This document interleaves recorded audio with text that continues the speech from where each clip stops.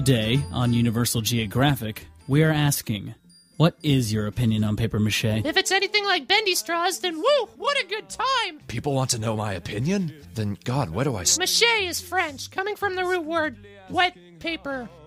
I'm ordering lotion online. That's not the question I asked. Why is there a cat here? Wet paper. No, no, no, wet paper. La la la la la la la. I'm allergic! I'm Dororo! Ah, my eyes! I hope you're hungry, Giroro. I'm making tuna. That's what I think of paper mache. Though I have no idea where that invasion plan was going, I give you five points for style. I was being interviewed by a terrifying bird monster supposed to help us take over the world? Come on, guys. You can't make an omelet without doing whatever the f- it takes to make an omelet. I mean, look at Giroro. Never mind. Look at me, a sexy motherfucker.